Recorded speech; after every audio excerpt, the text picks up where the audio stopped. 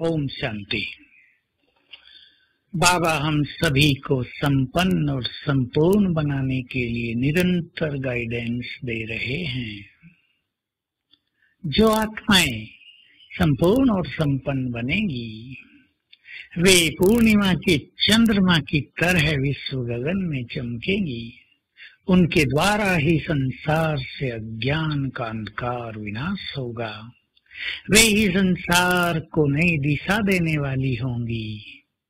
उन्हीं का बहुत ज़्यादा महत्व संसार में होगा। भगवान वाच है। जरा आगे चलो। अंत का समय आने दो। जिन आत्माओं ने लंबे काल से साथ निभाया है, उनका इस सृष्टि पर कितना महत्व हो जाएगा? ये सभी देखेंगे। तो हमें ध्यान देना है। हमें अपने लक्ष्य की ओर चलना है। लक्ष्य को भूलकर और बातों में विचलित हो जाना, ये इस समय बुद्धिमानी नहीं होगी।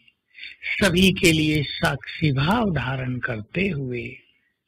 हर आत्मा अपना अपना पार्ट बजा रही है, ऐसा साक्षी भाव रखते हुए हमें स्वयं को महान बनाना है।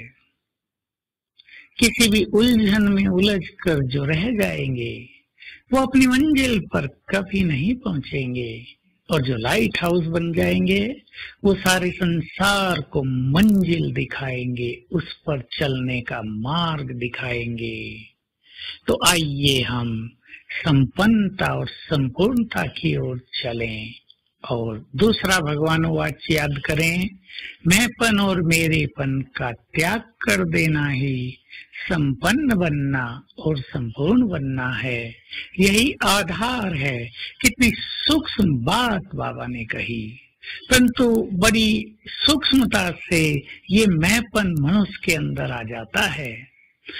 हम कोई भी कार्य की सफलता को देख पहले बाबा का गुणगान करने लगते हैं। वाह बाबा तुमने कितना अच्छा किया। फिर अपना भी गुणगान करने लगते हैं। हमने भी ये किया।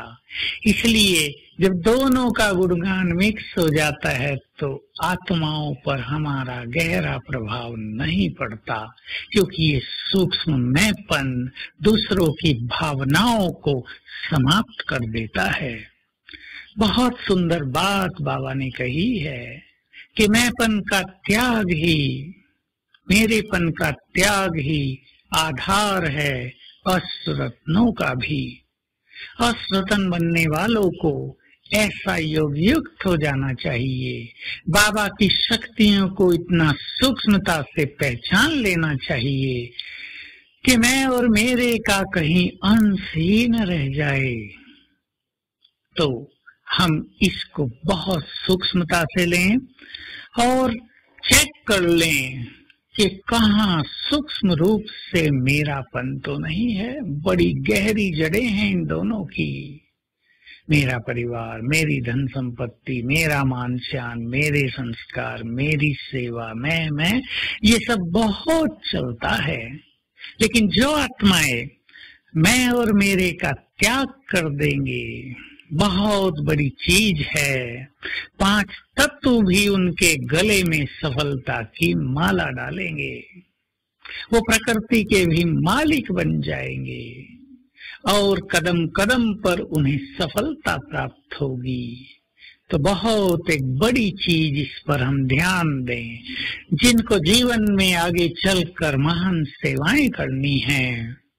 जिन्हें इस संसार को, युग को बदलने में बाबा का बहुत बड़ा सहयोग करना है, वो मैंपन और मेरेपन से मुक्त होकर, संपूर्ण समर्पण भाव से योग युक्त हो जाएँ तो कमाल होगी। आज सारा दिन हम इस पर बहुत ध्यान देंगे और चेक करेंगे कहाँ कहाँ मैंपन और मेरापन आता है। हो सके तो इसकी लिस्ट भी बना लें और सारा दिन अभ्यास करेंगे आज।